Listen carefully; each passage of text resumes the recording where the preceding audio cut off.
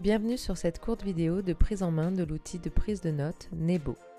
Nebo vous permet d'organiser facilement vos notes en collection et en cahier. Pour créer une nouvelle collection, cliquez sur le plus, puis entrez le nom de votre collection en le tapant ou en écrivant de façon manuscrite.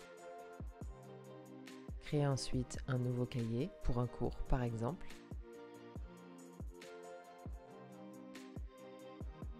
Pour créer une nouvelle page, cliquez sur Plus, puis Nouvelle page. Vous avez alors la possibilité d'écrire à la main ou de taper.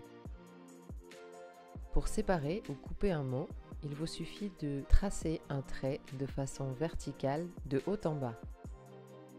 Vous pouvez également surligner des parties de vos notes à l'aide de l'outil surligneur ou simplement en entourant le mot que vous désirez surligner. Vous pouvez effacer en utilisant l'outil gomme ou en raturant le mot que vous désirez effacer. Pour organiser et structurer vos notes, vous pouvez rapidement identifier des titres en soulignant deux fois les parties de texte que vous désirez titrer et en soulignant une fois pour les sous-titres.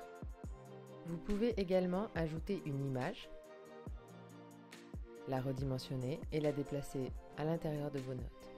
Vous pouvez ensuite annoter directement sur l'image ou à côté comme une légende.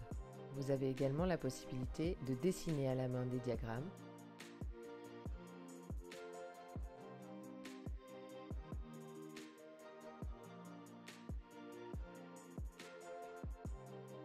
que vous pouvez ensuite convertir au format numérique. Une fois converti, il vous est toutefois possible de modifier votre diagramme en déplaçant par exemple des sections à l'aide de l'outil lasso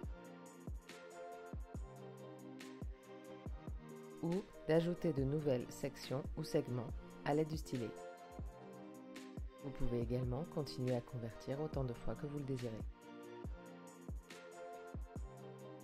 Vous avez également la possibilité d'insérer des calculs mathématiques. Écrivez un calcul complexe.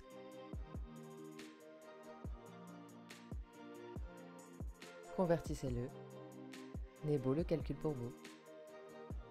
Enfin, vous pouvez également ajouter des sections de dessin dans lesquelles vous pouvez dessiner librement à l'intérieur de vos notes.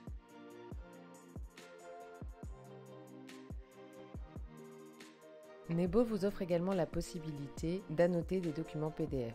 Pour cela, cliquez sur Importer en PDF, puis sélectionnez le fichier PDF que vous désirez annoter. Il s'ouvre alors dans votre cahier. Vous pouvez alors surligner des passages et à noter directement sur votre document PDF.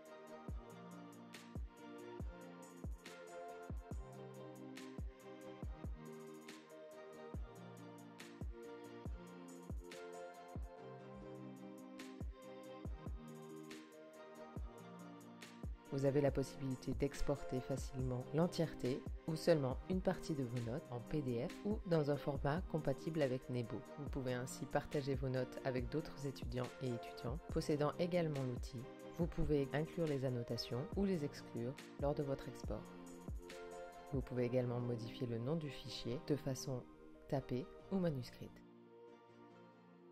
Voilà, nous espérons que cette courte vidéo de prise en main vous aura permis de découvrir les fonctionnalités de base de l'outil Nebo.